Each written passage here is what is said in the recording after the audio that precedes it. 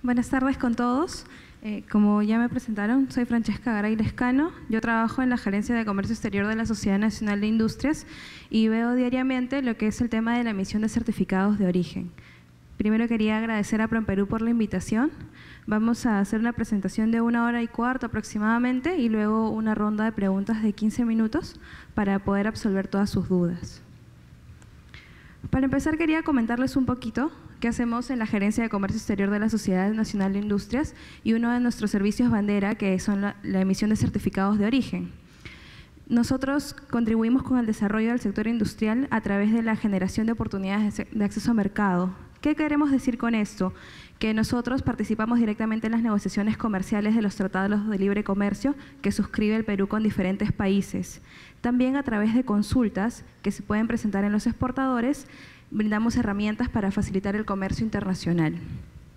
Tenemos tres servicios básicos que son facilitación de comercio, promoción comercial y lo que venimos a exponer el día de hoy, que es emisión de certificados de origen para cogerse alguna preferencia arancelaria en el marco de los tratados de libre comercio. El servicio de emisión de certificados de origen que brinda la Sociedad Nacional de Industrias es un servicio que tiene dos pilares es un servicio seguro y es un servicio rápido. También brindamos asesoría en forma personalizada a fin de brindar a los usuarios el certificado lo más pronto posible y facilitar el desarrollo de la exportación.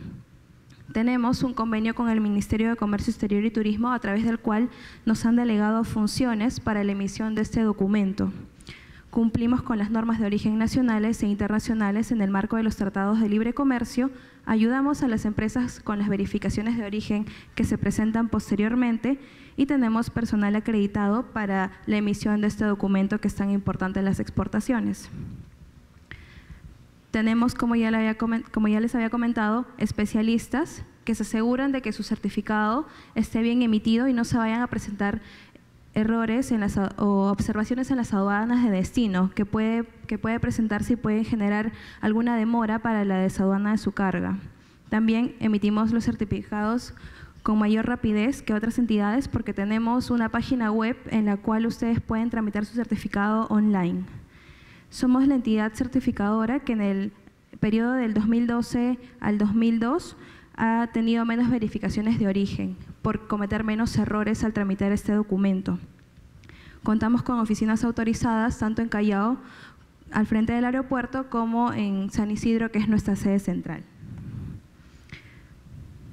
Tenemos también un ISO 9001-2008 para el proceso de emisión de certificados de origen, con lo cual estamos totalmente acreditados a que es un procedimiento rápido y que no tiene, que no tiene algún desperfecto al emitir este documento. Lo que quería comentarles hoy día es que hay que ver tres pasos bases para la emisión del certificado de origen. Primero hay que evaluar la normatividad para ver a qué preferencias debemos acogernos o qué, qué normas debemos cumplir. Posteriormente hay que llenar el documento base y medular del certificado de origen, que es la declaración jurada, y luego vamos a emitir el certificado, vamos a ver la emisión o el proceso de emisión del certificado de origen en sí.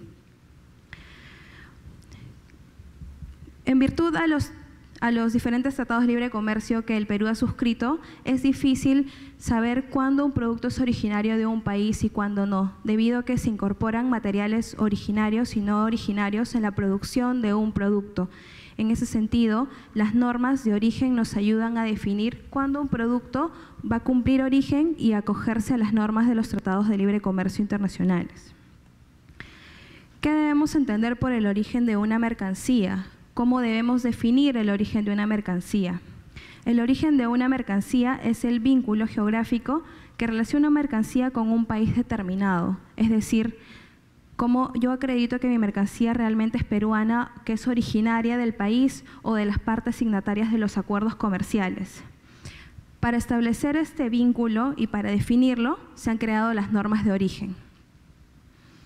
¿Y qué son las normas de origen? Muchos de ustedes que están acá no saben qué son las normas de origen. Hoy día vamos a explicarle un poquito de qué se tratan las normas de origen para la emisión de certificados de origen. Las normas de origen son un conjunto de criterios y pautas, requisitos también que determinan el origen de una mercancía, que nos dicen, has cumplido una serie de requisitos y por cumplir esos requisitos, tu mercancía sí es originaria y si se puede coger a alguna preferencia en particular. ¿En qué casos utilizamos las normas de origen o para qué son útiles las normas de origen? Las normas de origen sirven para aplicar instrumentos de política comercial, tales como derechos antidumping y medidas de salvaguardia. También nos sirven para decretar o beneficiarnos por el trato de nación más favorecida. También nos sirven para estadísticas de comercio internacional, nos sirven también para la contratación pública y para materias de etiquetado y marcado de los, de los productos que estamos exportando. ¿Qué son los acuerdos de normas de origen? Los acuerdos sobre normas de origen tienen por objetivo armonizar las normas de origen no preferenciales y preferenciales de los tratados de libre comercio. ¿Qué quiero decir con esto para que sea un poco más entendible? Las normas de origen me dicen que mi producto es originario en Perú, en el marco del Tratado de Libre Comercio con México, por ejemplo, armoniza que el producto o define cómo un producto va a ser originario para México y cómo va a ser originario para Perú, para que cumpla cierta para que pueda acceder a cierta preferencia. Primero quería quería delimitar que en el comercio internacional o en el marco de los tratados de libre comercio hay quería separar en dos fases. Los acuerdos, los tratados de libre comercio antiguos y los tratados de libre comercio nuevos o de última generación, que son a partir del TLC con Estados Unidos. Los tratados de libre comercio antiguos son el de la CAN o los acuerdos de complementación económica, el ACE 58 Mercosur, el ACE número 8 con Cuba o el ACE número 38 con Chile. Para eso yo les he traído unos ejemplos para que sepan cómo acreditar normas, de origen en estos tratados de libre comercio o cómo, cómo su producto cumple origen en el marco de estos TLCs. Y es así que tomando el Acuerdo de Complementación Económica número 8 con Chile, que ahora ya es un tratado de libre comercio, vamos a explicar todo el régimen de origen en el marco de este acuerdo. En el marco del, del AC58 o el Tratado de Libre Comercio con Chile, se definen o lo podemos definir más fácilmente de modo de dos principios básicos o dos principios generales. Los productos totalmente obtenidos y la transformación sustancial. El primer, todos los tratados de libre comercio, cuando ustedes desean revisar los textos para saber cómo se pueden acoger a una preferencia, tienen que ir al capítulo de reglas de origen y a los anexos para poder revisar su partida arancelaria y cómo, cómo o qué requisitos les piden para que su producto sea originario o para definirlo como originario. En el Tratado de Libre Comercio con Chile nos indica inicialmente que las mercancías son consideradas originarias cuando en su elaboración fueron utilizadas únicamente materiales originarios de los países signatarios. ¿Qué queremos decir con esto? Bajo este índice, ¿cómo yo defino que una mercancía es originaria?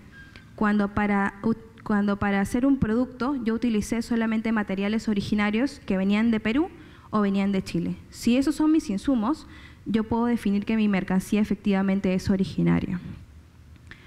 Para eso tenemos este ejemplo de tubos de cobre. Los tubos de cobre se exportan bajo la partida 741110. Para hacer tubos de cobre, normalmente se utilizan lingotes de cobre, pero estos lingotes de cobre vinieron de Chile. Como Chile es parte del acuerdo o es una de las partes signatarias, el, el insumo es considerado originario y por lo tanto mi producto a exportar, que son los tubos de cobres, serán considerados originarios en el marco del TLC con Chile. Otro ejemplo son los vasos de plástico. Si yo deseo exportar vasos de plástico a Chile y compro resinas o utilizo resinas de polietileno de baja densidad que se importan de la partida 390110, para que mi producto vasos plásticos sea calificado como originario, como mis resinas utilizadas como materiales no originarios fueron chilenas, pero es parte del acuerdo o es una de las partes signatarias, mi producto a exportar, que son los vasos de plásticos, serán considerados originarios. Otra regla de las, otra norma o otro literal de, los, de las reglas de origen en el marco del TLC con Chile son los productos que provienen de los reinos mineral, vegetal, cosechados, nacidos y criados en el territorio o en aguas territoriales por sus barcos banderas. En este grupo nosotros podemos encontrar todos los productos de las actividades extractivas, agricultura, ganadería, pesca. Todos los productos que son obtenidos directamente y que no tienen ningún proceso de transformación, mientras que sean obtenidos dentro de las partes signatarias, serán considerados como originarios, si yo los quiero exportar sin incorporarles ningún proceso de transformación. Otro, otro apéndice o otro numeral que nos indica el TLC con Chile es que los productos del mar extraídos fuera de las aguas territoriales, porque todos tenemos un territorio en el mar, un, límite territorial, pero si estamos o si estamos fuera de este límite territorial y está, el producto es extraído por nuestro barco bandera que está registrado en el país de las partes signatarias, el producto extraído será considerado como originario.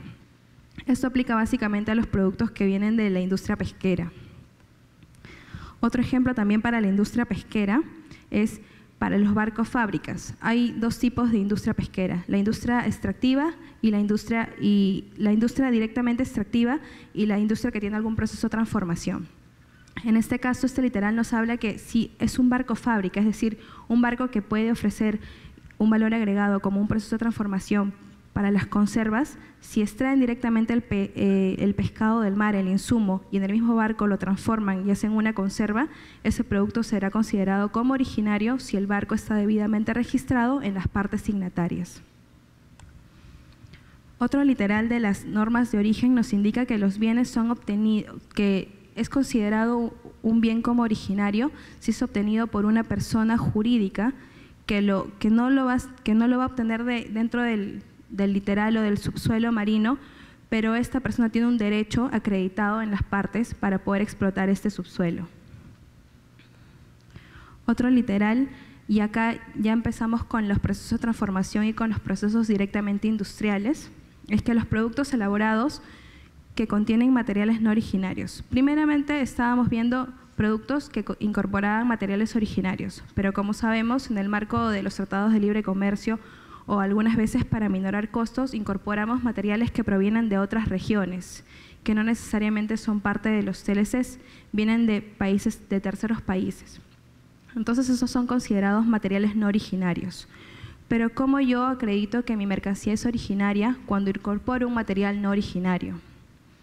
Yo voy a acreditar que mi mercancía es originaria cuando hay un proceso de transformación y este me confiera una nueva individualidad. ¿Qué entendemos por una nueva individualidad? Que a nivel de partida de cuatro dígitos haya un cambio. Si no se da este cambio, tenemos que cumplir dos reglas. Que haya un proceso de transformación, punto uno. Si cumplimos el proceso de transformación, tenemos que ir a la segunda parte de la regla, que nos dice que tenemos que tener una nueva individualidad, es decir, que tiene que haber un cambio a cuatro dígitos. Si cumplimos proceso de transformación y cambio a cuatro dígitos, en nivel de partida arancelaria, nuestro producto va a calificar como originario. En este marco tenemos un ejemplo para, los, para exportar envases de aluminio. Para exportar envases de aluminio los insumos son aluminio, barnices y tintas. Todos son de terceros países que no están involucrados en el Tratado de Libre Comercio con Chile.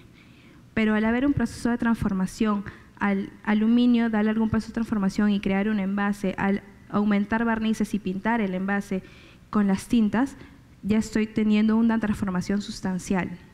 Y es así que cumplimos con paso uno, que era proceso de transformación, y paso dos, que es el cambio de la, de la nueva individualidad naladiza, que es los cuatro primeros dígitos de la partida arancelaria o de la subpartida nacional diferentes a lo de los materiales no originarios. Otro ítem en el marco de las reglas de origen del, Tratado de Libre Comercio de Perú y Chile nos indica que los productos no pueden cumplir origen con, establecido con lo anterior porque en su proceso de transformación no hay un cambio de partida. En el paso anterior vimos que un producto cumple origen cuando hay proceso de transformación y cambio de partida. Esta regla nos habla que cumplimos origen cuando hay proceso de transformación, pero no hay cambio de partida. ¿Y qué pasa ahí? ¿Qué otra regla debemos cumplir? Debemos cumplir que los materiales no originarios no deben exceder el 50% del valor FOB del producto final. Es decir, tenemos proceso de transformación, pero no hay cambio de partida, ¿ok? Entonces, ¿ahora qué hacemos? Nos fijamos en la regla que dice que de total de todos nuestros materiales originales, de, el total de nuestro producto final, el 50% de eso no, debe ser, no deben ser insumos importados de los terceros países. Para eso tenemos un ejemplo del té en bolsa. Queremos exportar té en bolsa por la partida 0902 y importamos hoja de té de Brasil y aceite de almendra de Holanda y papel filtro de Inglaterra. Hacemos un proceso de transformación para obtener las bolsitas de té, que es el punto uno de la regla, pero nos damos cuenta que no hay una nueva individualidad porque las hojas de té tienen la misma, la misma partida que las bolsitas de té, que es la, que es la partida 0902. Como no cumplimos con esa parte de la regla, tenemos que fijarnos en la segunda parte de la regla, que indica que los materiales no originarios no deben exceder el 50% del valor FOB. Entonces ahí es importante hacer una matriz de costos de parte de ustedes para verificar es que no se exceda ese 50% del valor FOB, tal como se puede ver en esta matriz de costos.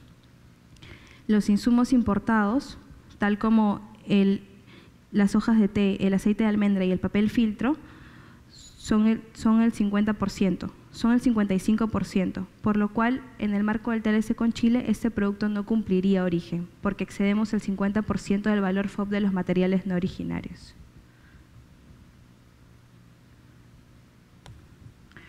Las otro ítem que, quería, que creo que es importante que ustedes lo conozcan es las mercancías resultantes por operaciones de montaje y ensamblaje realizadas en los países de las partes signatarias que utilicen materiales no originarios cuando cumplan o no con un salto de partida arancelaria, siempre que el valor CIF no exceda el 50% del valor FOB. Estas reglas tal vez sean un poco difíciles de entender para ustedes, pero en la parte práctica eh, son un poco más, son, son más fáciles de aplicar realmente. Es más fácil aplicar la regla que, leer el acuerdo, que a veces es un poco tedioso. Lo que nos dice esta, esta regla es que si nosotros no damos proceso de transformación y hacemos ensamblaje o montaje de productos, cumplimos origen cuando nuestros materiales no originarios no exceden el 50% del valor FOB del total del producto. Es más sencillo, es más sencillo que lo que podemos leer. Es así que tenemos un ejemplo de las lavadoras, que se producen, algunas lavadoras se producen acá en Perú, Importamos para, para hacer lavadoras, importamos motores chilenos, torques de Japón para soportar el motor y acero en bobinas para hacer las paredes de las lavadoras.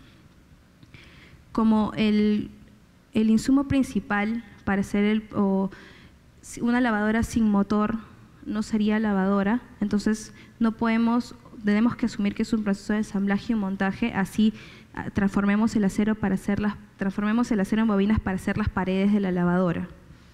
En ese sentido, cuando hacemos nuestra matriz de costos para ver si superamos el 50% del valor FOB, nos damos cuenta que como el motor es de Chile, es considerado un material originario, pero otros insumos, como el torque y el acero en bobinas, al no ser originarios, representan aproximadamente el 6% del producto, entonces cumplimos con la regla perfectamente.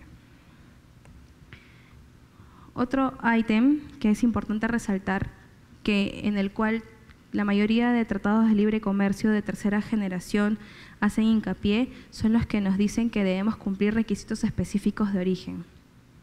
¿Qué son los requisitos específicos de origen? Son reglas especiales que se aplican a cada una de las partidas arancelarias del arancel de aduanas cuando éstas incorporan materiales no originarios.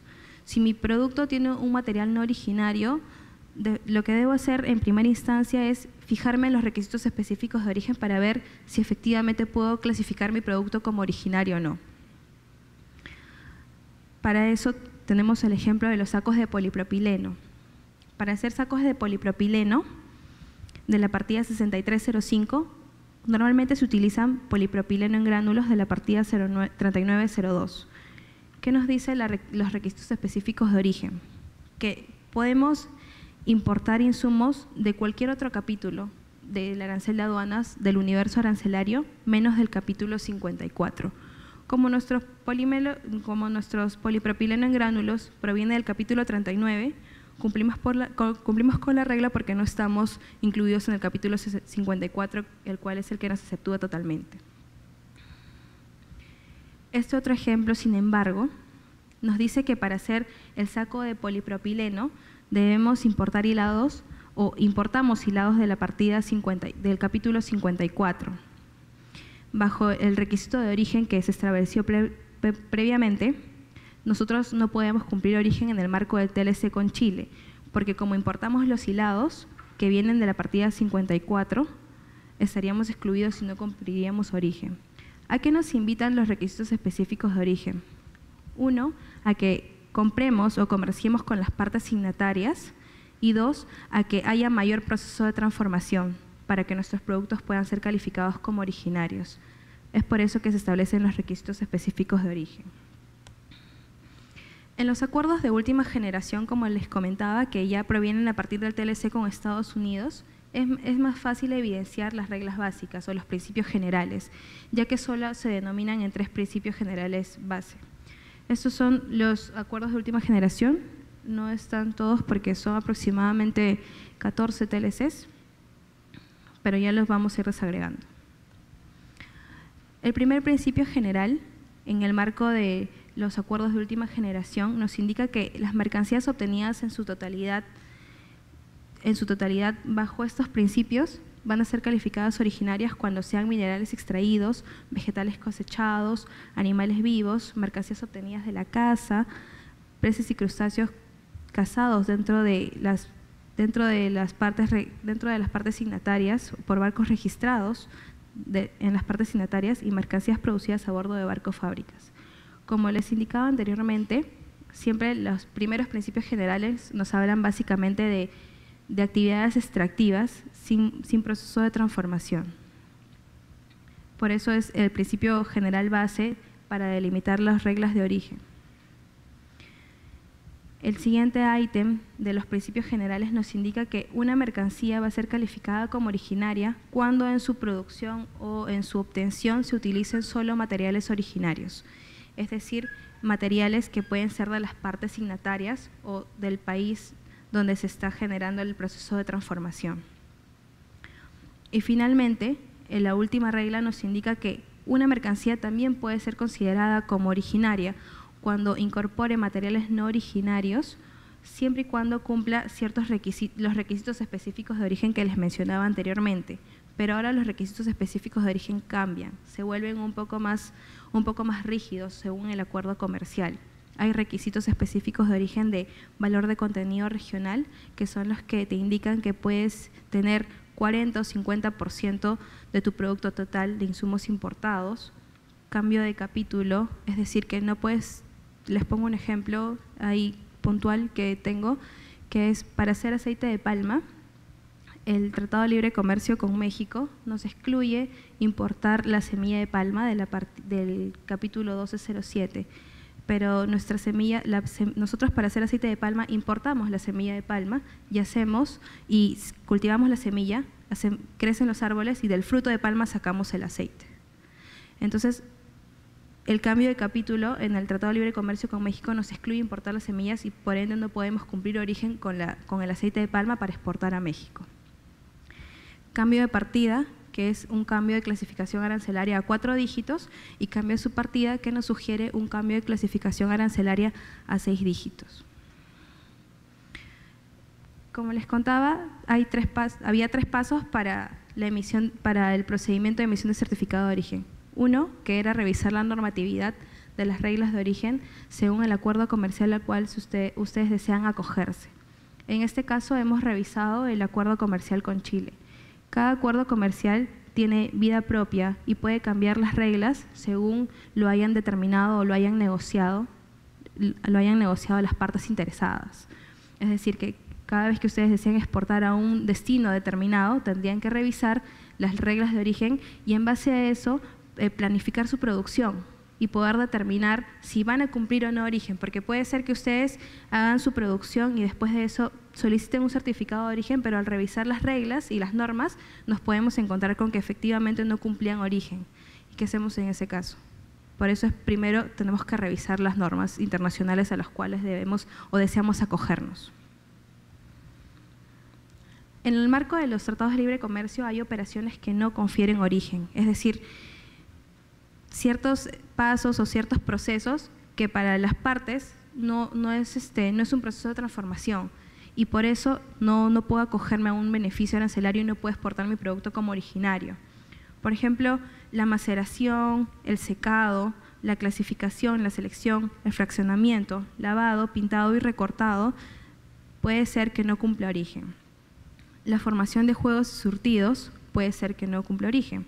El envase, el embalaje y el reenvase, si yo deseo exportar mangos y no, no utilizo los mangos peruanos, sino compro los mangos mexicanos, los pongo en cajas y los quiero exportar a otro país, puede ser que no cumpla origen porque es una de las operaciones que usualmente no confiere origen, el envase nada más.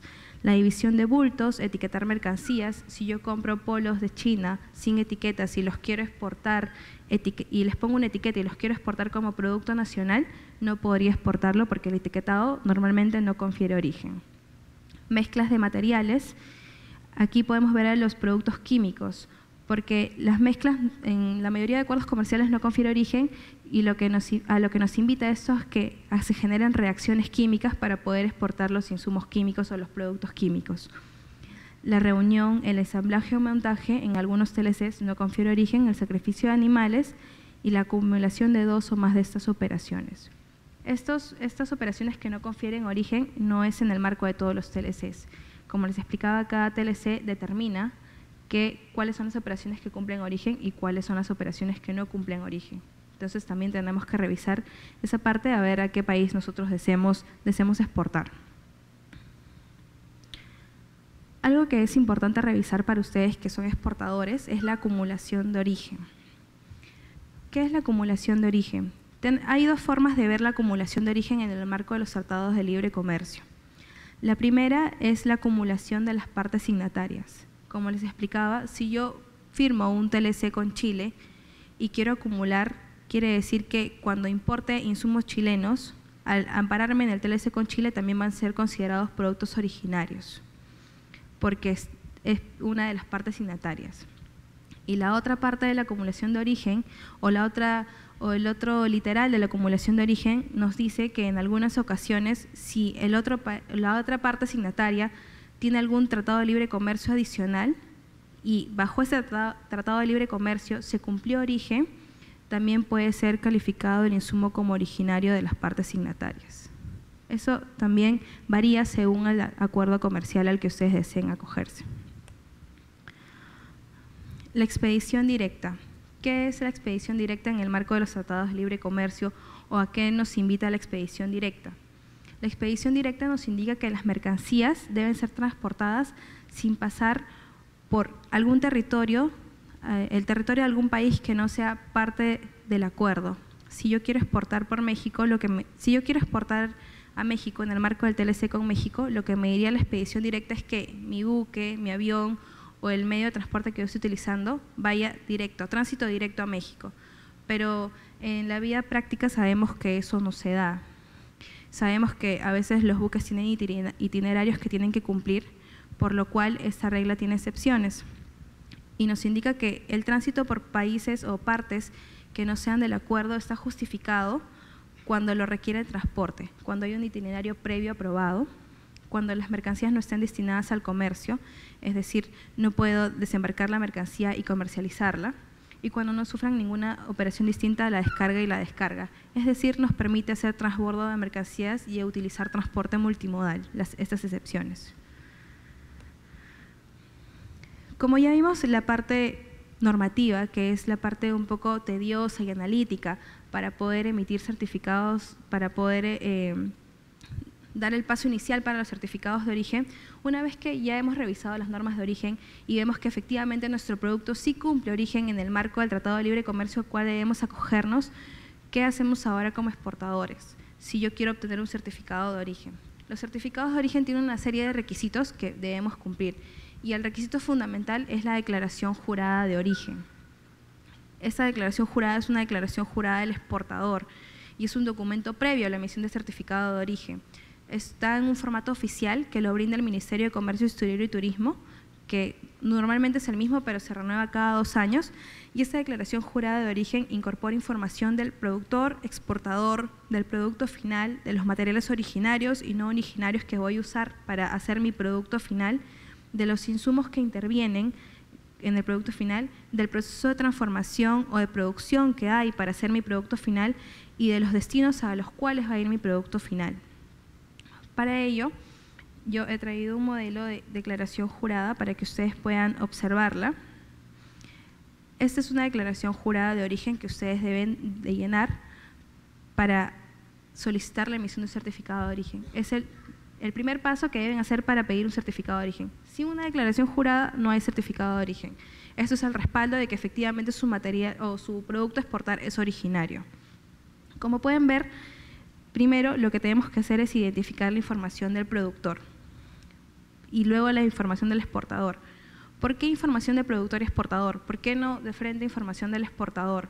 Porque a veces nosotros no somos los productores o tercerizamos la producción de nuestro producto o compramos a un, productor y directamente lo exportamos. Por eso necesitamos indicar que si lo hemos exportado, que si lo hemos producido nosotros, realmente o no. Porque esto después, después de los pasos, los, últimos pasos es la verificación de origen. Entonces, eh, acá sustentamos que efectivamente lo producimos nosotros o no.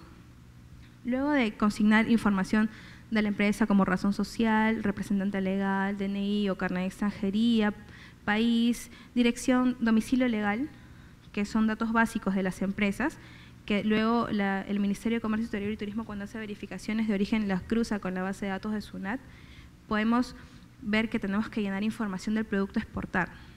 Información característica y básica. ¿Cuál es la denominación comercial del producto? las características, la materia constitutiva, es decir, para qué lo uso, para qué lo aplico, para qué me sirve este producto. Luego tengo que consignar la subpartida arancelaria. Tenemos que ser cuidadosos al consignar la, partida, la subpartida arancelaria porque algunos, eh, algunas, este, algunas clasificaciones arancelarias son un poco confusas, es por eso que ustedes deben de apoyarse de su agente de aduana o consultar a un agente de aduana que son las las, personas responsables y acreditadas para poder eh, brindar o clasificar productos en las subpartidas arancelarias. Luego, la unidad de medida en la cual voy a exportar mi producto y la denominación arancelaria, es decir, cómo está registrado en el arancel de aduanas. Luego de esto, cuando ya registré la información principal de mi producto, quién es el exportador y quién es el productor, tengo que informar en este documento si yo utilizo materiales no originarios. ¿Por qué es importante? Porque con esta información que yo voy a brindar acá, le voy a permitir a la entidad que va a emitir mi certificado de origen revisar si efectivamente yo cumplo origen en el marco de algún tratado de libre comercio al cual yo me quiero acoger. Es por eso que, como ustedes acá ven, he traído un, ejemplo de una empresa que no necesariamente son esos, son esos porcentajes, solo, solo es para ejemplificar, ni no necesariamente son esos materiales originarios. Esta empresa hace benzeína, que es un tipo de pintura, pero para hacer la pintura trae caseína de Holanda, porque nosotros no somos productores de caseína. Y, de, y la caseína representa el 29% de su producto total. Y esa información es importante que la empresa la, indique y la consigne para luego poder ver las reglas, para poder luego revisar las reglas de origen. Una vez que yo declaré todos mis insumos importados, ahora tengo que declarar los insumos nacionales que intervienen en la producción de mi producto. Es así que tengo que, si es que no los hago yo, tengo que poner a quién se los compro, información del proveedor, el RUC y el país que obviamente en este caso es Perú. En qué cantidad de medidas se lo compré, cuánto me costó y qué porcentaje representa de mi valor total o de mi, de mi producto final. Luego de, luego de consignar esa información, tengo que incluir mis gastos administrativos, tengo que hacer un prorrateo y definir mis gastos directos y mis gastos directos e indirectos que intervienen en la producción del producto. Finalmente, cuando yo tengo el valor total del producto, solamente tengo que consignar la información del declarante y eso es todo por la parte del producto. Ahora, también es importante que ustedes consignen cuál es su proceso de producción o su proceso de transformación, ya que en los procesos de transformación y producción se define si efectivamente es coherente lo que ustedes declaran como materiales originarios y no originarios. Si es que podemos ver en esos procesos de transformaciones, indican todos los productos, los insumos que han utilizado, pero algunos casos, como los textiles, usualmente las empresas exportadoras utilizan teñidos y no los, no los declaran. Entonces, cuando nosotros vamos al flujograma, vemos que hay un proceso de tinturado o teñido, y ahí nos damos cuenta que utilizan tintes, pero no los declararon. Eso, eso no perjudica a la entidad certificadora, eso los perjudica a ustedes, porque cuando hay una verificación de origen, el Ministerio de Comercio Exterior y Turismo revisa el documento y se da cuenta de que ustedes no declararon todos los insumos todos los insumos importados o los insumos nacionales y por eso el producto puede ser que no haya no cumpla origen realmente y todas las preferencias que su exportador haya su importador haya dejado de pagar pueden ser cobradas posteriormente y eso es y con eso ustedes perderían su cliente. Finalmente, en la última hoja de la declaración jurada, nosotros debemos indicar a qué destinos vamos a enviar nuestros productos y en el marco de qué TLC deseamos acogernos.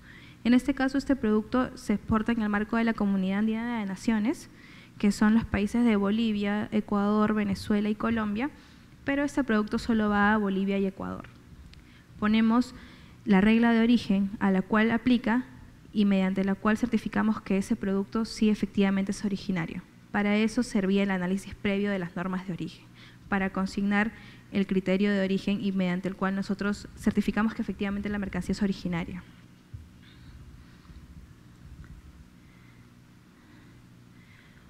Una vez que yo ya he hecho mi, ya analicé las normas de origen, ya hice mi declaración jurada, ahora qué hago con eso, con este documento que es tan importante para la exportación?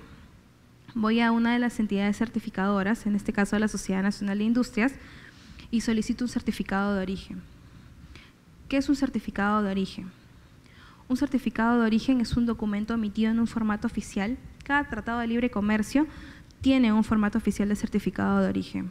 Son aproximadamente 16 tratados de libre comercio, son 16 formatos diferentes. Este, ¿Para qué me sirve ese certificado de origen? Primero me sirve para decir que mi producto es peruano, es realmente originario, y segundo me sirve para acogerme a alguna preferencia arancelaria, alguna rebaja de aranceles.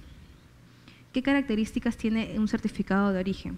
Es emitido por una entidad, una entidad autorizada, en la cual el Ministerio de Comercio Exterior y Turismo ha delegado sus funciones de hacer el trámite. Contiene datos de las partes, como el exportador, el importador o un tercero de haber triangulación, incorpora datos de las mercancías, registra el país y puerto de origen, así como el de destino, se emite solicitud del exportador, este documento es netamente voluntad de los exportadores de, de tramitarlo, cuenta con formatos establecidos para los diferentes países. Hay dos tipos de certificados de origen, los certificados de origen no preferenciales y los certificados de origen preferenciales. Ambos son emitidos por las autoridades competentes, pero el certificado de origen preferencial tiene la característica de que puede ser un autocertificado. ¿Cómo es esto? En el marco de los tratados de libre comercio de Canadá y de Estados Unidos, ustedes no necesitan ir a, una entidad autorizada a solicitar un certificado. Ya hay un formato establecido que lo da el mismo TLC, que se llena por el propio exportador él mismo lo firma, él mismo lo sella y él lo entrega. No tiene que ir a, una autoridad para que se lo firmen o se lo registren. Eh, eso es, un, eso es un beneficio que tienen estos dos tratados de libre comercio. ¿Qué son los certificados de origen no preferenciales? Son documentos emitidos por las autoridades competentes, con, pero solamente es remitido a países con los cuales no tenemos beneficios arancelarios o con los cuales no tenemos tratados de libre comercio. Entonces, si yo no tengo un tratado de libre comercio con este país y no voy a tener ninguna, ningún beneficio de rebaja de arancel, ¿para qué necesito este documento? A veces los clientes lo solicitan para acreditar que sus productos son realmente originarios. Y los certificados de origen preferenciales son emitidos por autoridades, son emitidos por las entidades competentes también, en las cuales el Ministerio, como ya les había comentado, delegó la responsabilidad y su facultad ha sido transferida a fin de que nosotros ayudemos al ministerio a hacer esta labor que en algunas ocasiones se sucede, es un poco engorrosa para los exportadores. Entonces nosotros, como ya les había comentado, damos asesorías personalizadas para poderlos ayudar. Los certificados de origen están amparados en el TUPA número 3 del Ministerio de Comercio Exterior y Turismo. En el, TUPA es un trámite, eh, los trámites administrativos por el cual está reglamentado este trámite.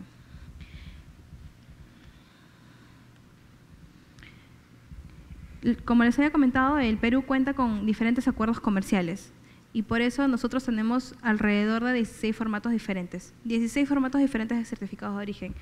Imagínense, son 16 formas de llenar un documento que nosotros tenemos que tener claros al momento de llenar para hacer todas las precisiones del caso, porque si algún no llenamos muy bien algún recuadro o alguna nota que nos pide el certificado, cuando nuestro certificado llegue llegue a la aduana de destino y se solicite la descarga, el, el, vista de aduanas puede observar el certificado y puede paralizar la descarga y para ustedes eso incurre en gastos, gastos adicionales. Como les había comentado, los los TLCs de Estados Unidos y Canadá tienen autocertificación. Ustedes mismos llenan sus certificados y los firman. Es, el procedimiento es mucho más sencillo. ¿Qué establece el TUPA número 13 para los certificados de origen? ¿Qué requisitos yo necesito aparte de la declaración jurada, que es el documento central para la emisión de certificado de origen? Primero necesito el formato único de trámite, que es una hoja en la cual nosotros ponemos quién es el representante legal, la dirección, la factura comercial a la, cual se refiere el certificado de origen, lo firman y lo sellan y eso es el formato único de trámite. Es el paso más sencillo. Luego viene la declaración jurada de origen, que era el documento de cuatro hojas que les mostré, que posiblemente sea el paso más, más difícil de certificado de origen, porque tiene un tema analítico. Luego tenemos que adjuntar la factura comercial, que es el soporte del certificado de origen tenemos que tener el certificado de origen debidamente lleno por la autoridad competente cuando no es autocertificación y tenemos que pagar el derecho del trámite que como lo establece el TUPA es el 1% de la UIT más el IGB. ¿Qué es el formato único de trámite? Es la solicitud para la emisión de certificado de origen y qué, tiene o qué particularidad tiene este formato, que es la manifestación del exportador para iniciar el trámite. Es el primer paso y es, es, hecho directamente por el exportador. La entidad le puede informar qué campos debe llenar o qué llenar, cómo llenarlo, pero es todo voluntad del exportador y hecho por el exportador. La declaración jurada, como ya lo vimos, es el documento central, el documento base que, que, le da vida al certificado de origen. Si una declaración jurada no puede haber certificado porque la declaración jurada es el respaldo de que el certificado de origen está correctamente emitido es hecho por el exportador. Si ustedes no consignan alguna información, omiten alguna información, como les había dicho, es única y es responsabilidad total de ustedes cuando haya verificaciones de origen a posterior. Es obligatorio la presentación para tramitar un certificado de origen. Cuenta con dos años de vigencia, es decir, que yo presento hoy día mi declaración jurada a una entidad y tengo dos años para pedir certificados de origen por esa declaración jurada. Es decir, y cuando cambian, vencen los dos años, vuelvo a tramitar otra declaración jurada y tengo dos años de vigencia más para poder pedir certificados de origen por ese producto. Es una declaración jurada de origen por cada producto que yo deseo exportar. Si cambian los materiales originarios o no originarios, así sea el mismo producto, debo hacer otra declaración jurada. Si cambian los acuerdos a los que yo deseo acogerme, debo arreglar o modificar mi declaración jurada y tiene una nueva vigencia. Si yo cambio mis proveedores, tengo que actualizar mi declaración jurada y tiene una nueva vigencia. Es un, es un, es un requisito fundamental y es un requisito con el cual eh, es, importante que tengan claro de que tiene que tener la información lo más actualizada posible y completa. La factura comercial es el comprobante de pago que ustedes remiten a su exportador. Se necesita como sustento para ver que todo lo que ustedes indiquen en su factura comercial o todos los productos que ustedes indiquen estén declarados en el certificado de origen. Si no están todos los que ustedes declaran en la factura comercial porque se olvidaron, porque o por N razones, ese producto que dejó de estar declarado en el certificado de origen no se va a acoger a ninguna preferencia.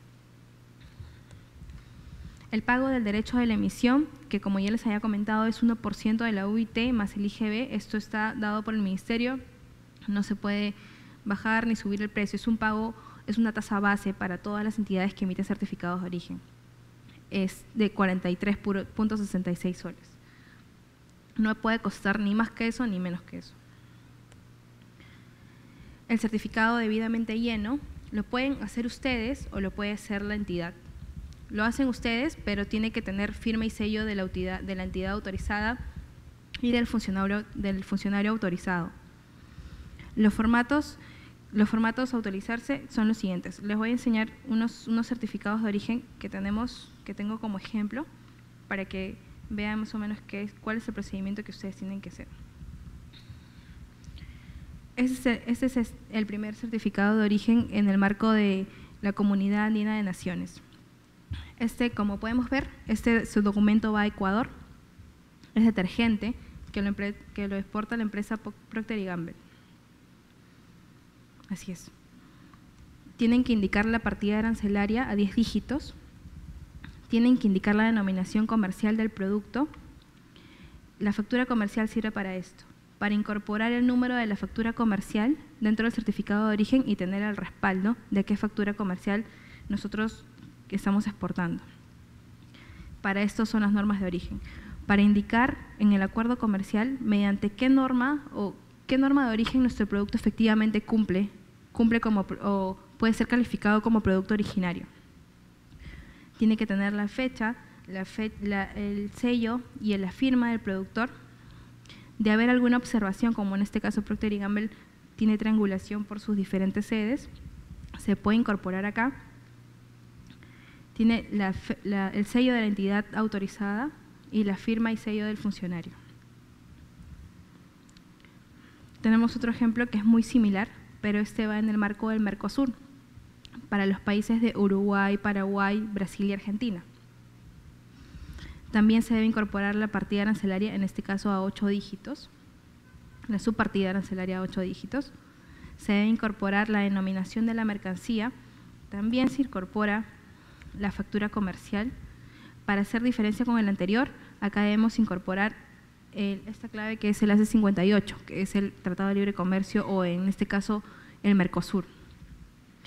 Se incorpora también la norma de origen mediante la cual acreditamos que nuestro certificado o que nuestro producto es originario. Y a diferencia del anterior, este nos, nos pide o nos, nos pide como requisito que incorporemos las declaraciones juradas mediante las cuales nosotros decimos que nuestro producto es realmente originario. Firma y sello de los, de los representantes. Este es parecido al anterior, solamente que la diferencia es que va para Chile, incluye la misma información, pero quería mostrarles otros que son más, más interesantes.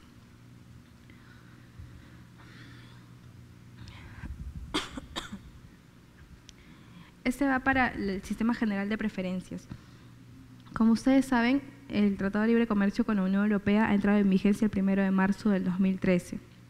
Antes nosotros exportábamos en el marco del Sistema General de Preferencias pero ahora, ahora a partir del 1 de marzo del 2013 podemos exportar en el marco del TLC con la Unión Europea o bajo el Sistema General de Preferencias, con la condición de que el Sistema General de Preferencias solamente va a estar vigente hasta el 31 de diciembre del 2013. Si ustedes acostumbraban a exportar bajo el Sistema General de Preferencias, pueden seguirlo haciendo hasta el 31 de diciembre del 2013 y el 1 de enero del 2014 ya usar los certificados del Tratado de Libre Comercio con la Unión Europea, que tienen un formato diferente. Este, este certificado nos pide información, a diferencia de los otros, los otros no nos pedían información del productor ni del exportador más que su sello y su firma, ni el importador. Este certificado, como vemos acá, nos pide información del exportador, que digamos quién es el exportador y cuál es su domicilio legal. Nos pide el importador cuál es su razón social y cuál es su domicilio legal también. ¿Qué medio de transporte estamos utilizando? Los otros certificados, los anteriores certificados de origen eran más, eran más sencillos. Este nos, es un poco más complejo, nos pide que indiquemos qué método de transporte utilizamos, si es, si es por aire, si es terrestre, marítimo, como sea que lo estemos exportando. nos pide que indiquemos en qué unidad de medida estamos exportando y cuánto estamos exportando. El peso neto de nuestra exportación, el criterio de origen también, es decir, a qué norma de origen nos acogemos, la factura comercial en la que está amparada y cuándo fue emitida esa factura comercial. Luego de eso, como todos los otros formatos, incorpora la firma y los sellos de los representantes legales. Este es bastante parecido al anterior. Acá hay otro. El Tratado de Libre Comercio con China, en el marco del TLC con China, el certificado de origen tiene otro formato. Como les decía, cada acuerdo tiene vida propia. Es por eso que cada acuerdo es libre de indicar un formato en particular o un formato que con ellos se sientan más cómodos e incorporando tanta información como ellos consideren necesaria. Mientras más información tenga, en algunos tratados de libre comercio es mejor porque las reglas están más claras. Por ejemplo, en este, en, este, en este formato tenemos información del exportador, del productor y también nos nos pide información del exportador y también información del productor. En los anteriores solamente decía información del exportador. Ahora tengo que, si yo no soy productor, tengo que indicar quién es mi productor, a quién le compro yo mi mercancía. Tengo que indicar también la información del importador y este, y este certificado me indique cuándo es la fecha de, embarque, la fecha de salida de mi embarque, cuál es el nombre, el, nombre del, barco y cuál es su código, su número es decir, pide más información, como les estaba comentando. El puerto de carga y el puerto de descarga. Indica, como todos los anteriores, el producto exportar, en qué cantidades y en qué unidad de medida. Este nos pide la partida, la partida arancelaria a seis dígitos o la subpartida, el criterio de origen, este nos pide el peso neto y el peso bruto, tenemos que hacer diferenciación nos indica también la factura comercial y nos pide que indiquemos cuál es el valor de la factura comercial. Es decir, este, este es, el es el certificado de origen que pide más información de todos los certificados de origen. Tiene la fecha, la fecha como debe ser y la firma y el sello del representante o del funcionario que acreditó el certificado de origen. En el marco del TLC con Corea, es, los acuerdos o los certificados de origen para los países asiáticos todos son muy parecidos, incorporan casi la misma información. Es así que el de Corea incorpora en su mayoría la, información que se consignó para el, para el, certificado con China. No hay diferencias, se, se incorpora la misma información. En el caso de Japón, también tenemos que consignar, como en Corea y en China, información del exportador, importador, productor, dónde fue emitido el certificado de origen en Perú, información de la cantidad de paquetes, la descripción de producto, la clasificación arancelaria. Antes estaba desagregado en más, en más cuadros, ahora todo esto en un solo cuadro. El criterio de origen, el peso neto, el peso bruto y la factura comercial a la cual yo me estoy con la cual estoy respaldando mi certificado. Acá no tengo que poner la cantidad, la cantidad o el valor de la factura comercial. La firma y sello de los declarantes. Es importante que ustedes cuando em, soliciten un certificado de origen y la entidad se los dé, revisen. Ah, revisen que esté toda la información consignada esté de acuerdo a la factura comercial y revisen que el certificado esté debidamente llenado, debidamente diligenciado de todos los certificados de origen de los acuerdos de tercera generación, a la espalda del certificado tienen un instructivo de llenado y me dicen qué debo poner en cada campo y qué no debo poner. Cuando yo dejo de poner algo o pongo algo de más, el certificado puede ser observado. Es por eso que es responsabilidad de ustedes que revisen el certificado. La entidad, mm, es, es muy poco probable que la entidad se equivoque al emitir el certificado, pero de todas maneras siempre es bueno que ustedes revisen el documento.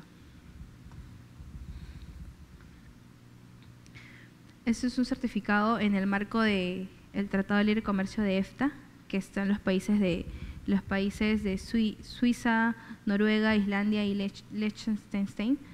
Este formato es muy parecido al formato del TLC con la Unión Europea. Es casi idéntico.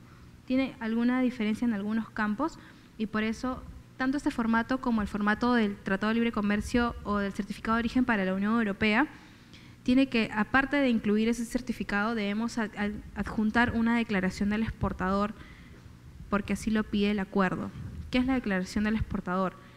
La declaración, como ustedes pueden ver, ese certificado no incorpora una parte en la que nosotros indiquemos el criterio o la norma por la cual estamos acreditando que nuestro producto cumple origen. Al no haber ese criterio, el exportador tiene la responsabilidad de decir que efectivamente su producto sí cumple origen. Entonces, para, reforzar eso, ¿qué hacen?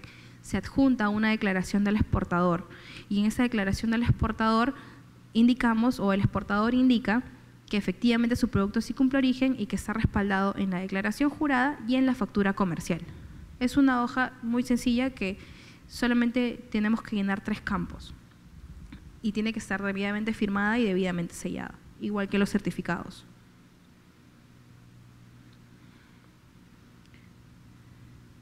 Este, este, formato es diferente a los anteriores, es, es un certificado de origen para Singapur, son uno de los menos utilizados.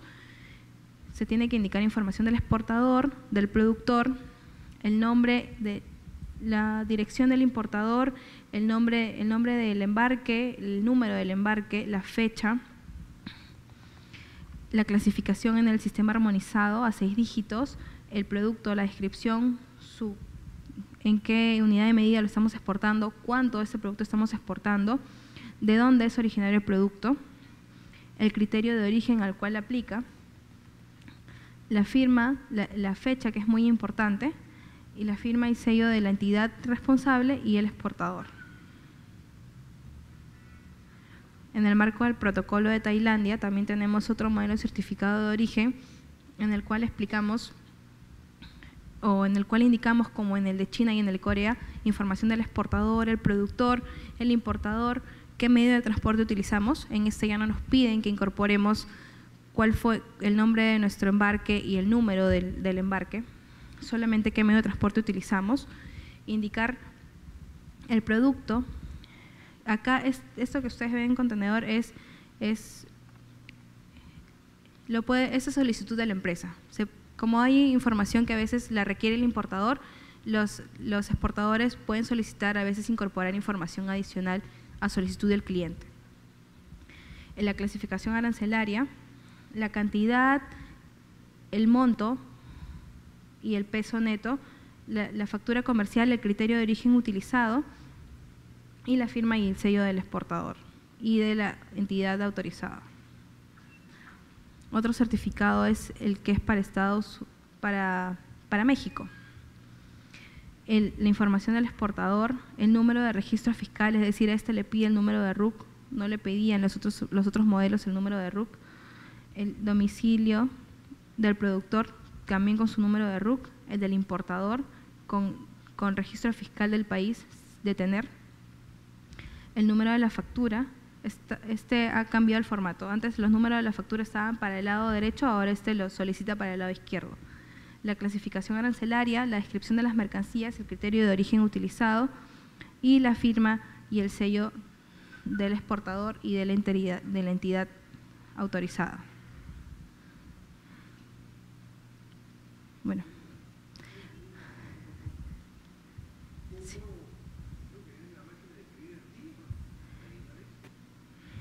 Ya. Ya, bueno. Sí. Un momento, por favor. Bueno, esto, las preguntas al final, sí, yo le voy a responder, no se preocupe. Ya. Por, el, por parte de la exposición, es, eso es todo. No sé, ahora pasamos a la ronda de preguntas. A ver, primero atendiendo la consulta del señor. Esto, como, en la forma de llenado del certificado depende de la entidad. Nosotros, por ejemplo, la Sociedad Nacional de Industrias tiene un, un sistema, un sistema en el cual sale el formato ya vacío y con los campos para que usted los llene digitalmente. Y luego se pone usted la plantilla y sale el certificado ya impreso con los campos que usted llenó. Eso depende de la entidad. Por ejemplo, en nuestro caso tenemos esa funcionalidad En el caso de otras entidades, de repente tienen una plantilla en Word, una plantilla en Excel. La entidad se acomoda para dar las facilidades al exportador.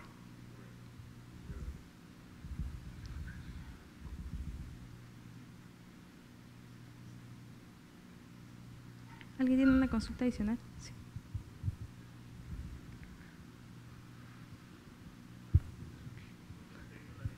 Un momento.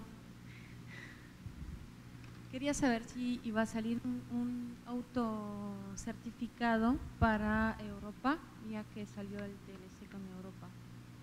No, te escuché, no sé si podría ser un poquito ah, Ya. Como ah, hace poco salió el TLC de Europa, quería saber si también iban a tener un un auto certificado? Como había comentado, en el marco del TLC con la Unión Europea, el certificado de origen no es, no es un modelo autocertificado como en Canadá y Estados Unidos. Los únicos TLCs que tienen autocertificación son Canadá y Estados Unidos. Luego de esos, los demás, los otros TLCs, cada, cada certificado tiene que ser diligenciado en la entidad certificadora, pero sí hay un formato establecido.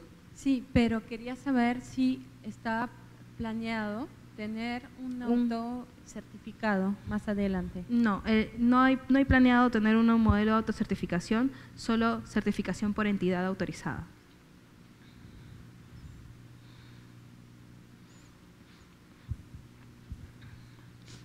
Con respecto a la declaración jurada, cuando el exportador es diferente al productor, em, la declaración tiene que ser sellada declarada por el exportador, ¿es necesario que también vaya el sello del productor? Eh, esa pregunta es muy interesante. Toda para que la declaración jurada sea respaldada por el productor tiene que tener su, su, su firma y su sello. Esto se llama una declaración jurada compartida, en la cual el productor eh, da toda la información, pero el exportador es el que va a exportar la mercancía. Entonces también la tiene que firmar y sellar tiene que ser firmada por ambos en las cuatro hojas de la declaración jurada. Sí, eh, buenas tardes. Muchísimas gracias por la exposición. Buenas tardes.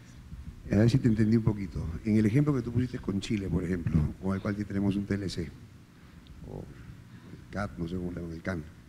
Este, si yo tengo eh, o sea, eh, materia prima de Chile, yo la puedo poner como si fuera parte, el 80% de lo de Chile, porque tenemos un acuerdo, yo lo, le pongo un, porcentaje de cosas peruanas, ¿solamente me sirve para exportarlo a Chile o también lo puedo exportar a, Estados Unidos?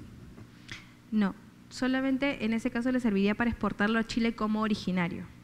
Ahora, habría que ver las reglas de origen de Estados Unidos que nos dicen con respecto al porcentaje de los materiales no originarios pero para efectos de Chile, como el insumo es de las partes signatarias, es considerado como un insumo originario. Entonces, en ese caso, mi producto para exportarlo a Chile sería totalmente originario, porque utilicé insumos peruanos y insumo chileno. Pero para Estados Unidos tendría que ver si la, eh, la regla de valor me indica si puedo aplicar al 80% de materiales no originarios y de dónde puedo utilizar esos materiales no originarios, porque por la acumulación también podría aplicar a otros, este, a otros, a otros países. Estos datos eh, por cada TLC, ¿dónde los puedo eh, ubicar? Ya. Yo les puedo aquí más o menos indicar dónde pueden ver ustedes esto. Y, una pregunta más, eh, no teniendo TLC con Brasil, hay un, hay un tratado arancelario preferencial con Brasil. En, el caso de Brasil, nosotros tenemos un acuerdo de complementación económica, que es el ACE 58. Están Brasil, Argentina, Uruguay y Paraguay. A estos cuatro países yo puedo aplicar por el ACE 58, obtener preferencias arancelarias y exportar mi mercancía como originaria, dependiendo de los, de los, de los pautas que me den en el capítulo de reglas de origen. Pero sí se puede exportar a Brasil con el ACE 58. Y ahí, digamos, si yo tengo un, insumo brasilero al cual yo le voy a, adherir un, insumos peruanos, quiero exportarlo aprovechando TLC con otros países, no a Brasil, sino a un tercer país con el cual haya TLC, se podría hacer de, acuerdo a lo... Dependiendo del porcentaje y de la acumulación. Tendríamos que ver esos dos ítems. Y esos porcentajes nos lo van a Así es, de los, de los porcentajes de materiales no originarios. Muchas gracias.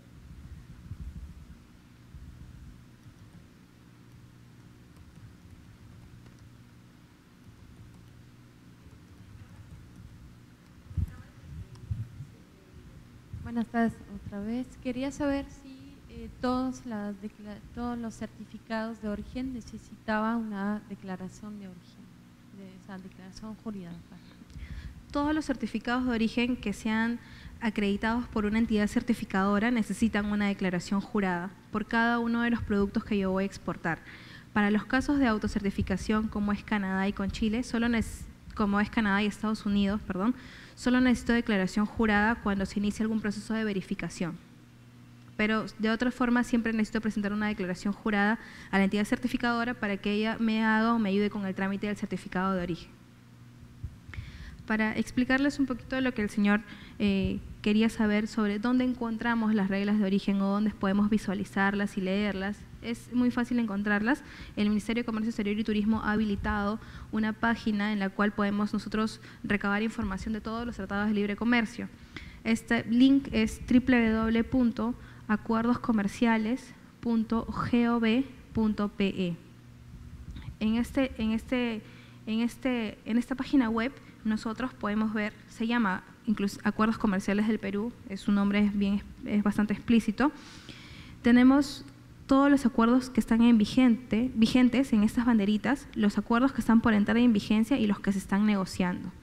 Si nosotros queremos leer los acuerdos comerciales, lo que debemos hacer es entrar a cada una de estas banderitas y, y poder visualizar los textos. Por ejemplo, en el marco del TLC con Chile, que es el que hemos estado viendo, entramos a la banderita Chile esperemos que cargue la página, entramos, nos da todo un, previo, un análisis de qué es lo que se hizo para firmar el TLC con Chile. Mediante qué decreto supremo se aprobó, sus antecedentes. Eso es lo que podemos tener en la pantalla inicial. Pero si queremos ir a los textos en sí, lo que tenemos que hacer es entrar a la parte de la izquierda que dice textos del acuerdo. Le damos clic a textos del acuerdo y nos salen todos los textos oficiales del acuerdo. Ahí inclusive ustedes van a, van a poder encontrar las listas, las listas de Chile y las listas de Perú, es decir, las listas para exportar y las listas para importar. ¿Qué tienen estas listas? Tienen las categorías de desgrabación arancelaria, es decir, los beneficios a los que ustedes se acogen para exportar o importar un producto. Con qué arancel van a entrar o con qué arancel entra el producto. Para ver las reglas de origen, entramos a la parte que dice régimen de origen. Le damos clic cada acuerdo tiene su nombre propio. En una puede ser reglas de origen, en el caso de Estados Unidos es denominación de productos, en el caso de la Unión Europea es denominación de productos originarios. Tienen nombres más extensos, pero todos los acuerdos tienen este capítulo. Y acá en el capítulo de reglas de origen ya me explican cómo califica origen un producto, cuáles son las operaciones mínimas para considerar un producto como originario, qué, es envase y embalaje para considerarlo como originario, qué son los requisitos específicos de origen. Eso es lo que ustedes tienen que revisar siempre previamente para hacer su análisis. Señorita, ¿puede sintetizarse en el sentido de señalar que todos los tratados de libre comercio eh, requieren de los certificados de origen? ¿Es así? Sí, todos los tratados de libre comercio. Todos los tratados de libre comercio están sujetos a los certificados de origen. Así es, para acreditar las mercancías como para acreditar la mercancía como originaria. Pero mi pregunta es, ¿yo puedo exportar sin ajustarme a, esas condiciones de certificado de origen? Sí, si usted, como el, beneficio del certificado de origen son dos, acreditar la mercancía como originaria o acogerme a alguna preferencia arancelaria. Si yo no quiero acreditar mi mercancía como originaria y tampoco quiero acogerme a una preferencia arancelaria, puedo exportar sin certificado de origen, no hay problema.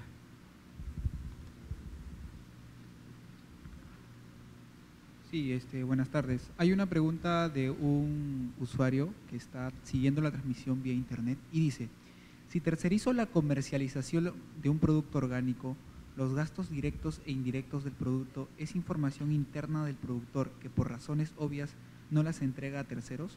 ¿Cómo proceder en este caso? Si, comercializa la, si terceriza la comercialización o la producción. No, si terceriza la comercialización de un producto orgánico la comercialización, pero el exportador va a, comercial va a comercializar directamente. ¿Cómo podría yo tercerizar la comercialización? La pregunta, como se le ha leído, dice, si tercerizo la comercialización de un producto orgánico, los gastos directos e indirectos del producto es información interna del productor, que por razones obvias no las entrega a terceros, ¿cómo puede proceder en este caso? Ya. Eh, eh, eh, lo que, lo que mm, si bien es cierto, no podemos pedir información a detalle sobre la información del productor, el productor debe entender que para nosotros poder exportar el producto debemos tener la mayor cantidad de información posible. Y en ese, y en ese marco, el productor debería darnos la mayor, la mayor cantidad de información y facilitarnos la información, porque el productor en un futuro puede ser exportador directamente. Entonces, esa declaración jurada o esa información que consigna la declaración jurada le, va- le puede ser útil. Es por eso que debe incorporar la mayor cantidad de información y ustedes deben poder eh, o, o poder eh, solicitarles la información porque después cuando vienen verificaciones de origen se va a solicitar todo este tipo de información y se van a solicitar facturas comerciales internas.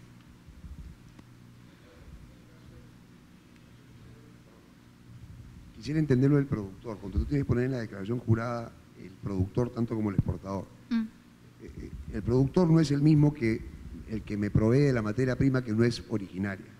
Por ejemplo, mi materia prima viene de Brasil, ¿ok? Pero yo a esa materia prima la traigo a granel y acá yo produzco el producto, incluyéndole eh, materia prima peruana, digamos, ¿no? Entonces saco un producto peruano. Yo tengo que ver con qué medidas, y por eso he venido a esta reunión, cuáles son las normas que debo cumplir para que sea considerado de origen peruano. Pero el tema es, los datos del productor, ahí es el que me hace la- el, producto que en Perú. Ahí no está el, el- el- el que me Así vende es. el proveedor. Sí, es, tenemos que diferenciar, no confundirnos en proveedor y productor.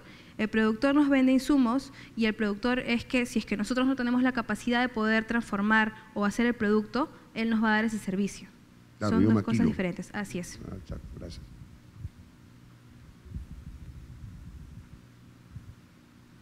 Ah, disculpe que llegué un poco tarde. Eh, no sé si hablaron sobre el acuerdo de la CAN. Entonces, eh, en relación a eso, tengo entendido que también se necesita certificado de origen para exportar usando ese acuerdo. Eh, y, mi pregunta es si, si es así o no, y también si el certificado de origen entonces solamente es por cada producto o es, o es cada vez que uno va a exportar. En el marco de la comunidad, como ya lo había mencionado, todos los tratados de libre comercio, los acuerdos comerciales requieren un certificado de origen.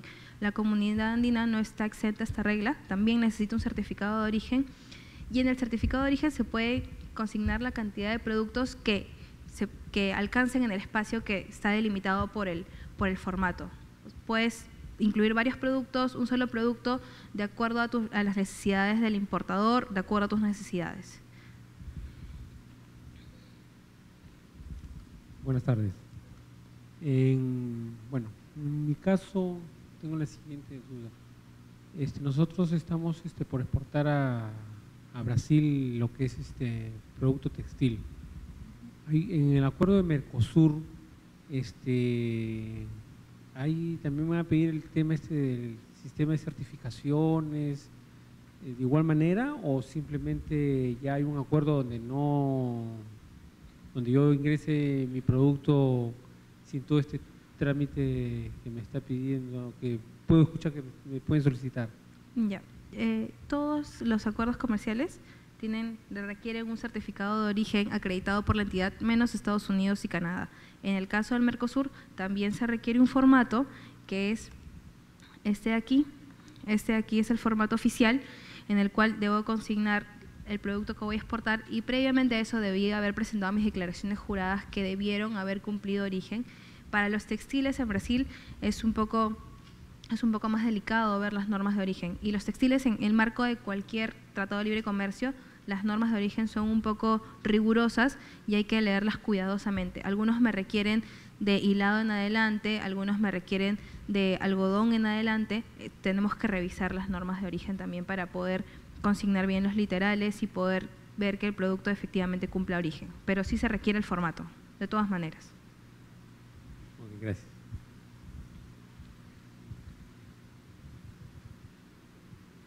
Eh, para el certificado de origen eh, hay dos partes fundamentales que se resume el proceso productivo de- por el productor y la parte comercializadora. ¿De acuerdo? El problema es que en la parte comercializadora hay intermediarios, llamemos nosotros copiadores, que muchas veces son unos mayoristas y que le venden al exportador. ¿Cómo hacen ellos para poderle pedir a los productores todos los documentos valorados que se necesita para poder comprobar el certificado de origen? Cuando muchas veces los productores son muy descuidados, no piden factura, a la justa tienen boleta, no tienen nada. Entonces, ¿cómo se supera ese problema? En, en, el caso de los acopiadores y de los productores que no, no puedan, por temas de acceso, brindar toda la información o poder facilitar la información, normalmente se usan cartas poderes, cartas poderes para hacer los trámites por los, por los productores directamente, para poder llenar, ayudarlos a llenar declaraciones juradas o para tramitar los certificados de origen directamente. Funciona la declaración jurada en este caso. Claro, en este caso el documento medular que sí tenemos que solicitarles que llenen es la declaración Siempre jurada. y cuando que esa declaración jurada sea proporcional y real, real en el fondo, ¿no? Por, Así es, en el fondo. Para que no haya una descompensación en la valoración del producto, sobre Así todo. Así es. Tendríamos que brindarle al productor, en este caso, que no tiene al alcance todas, todas las medidas, todas las facilidades, tendremos que ayudarlo lo más que se pueda para que nos facilite la información ayudarla a llenar la declaración jurada en por este parte caso, de los acopiadores que son los el interesados. certificado de origen? Firma el, certificado de origen? firma el, el, intermediario y el exportador. ¿Quiénes firman? El certificado de origen solo lo firma el exportador, solo el exportador. No el productor. No el productor. Correcto. La declaración jurada sí es por productor y por exportador. Cuando es conjunto. No el mayorista en este caso. No, no el mayorista. Correcto.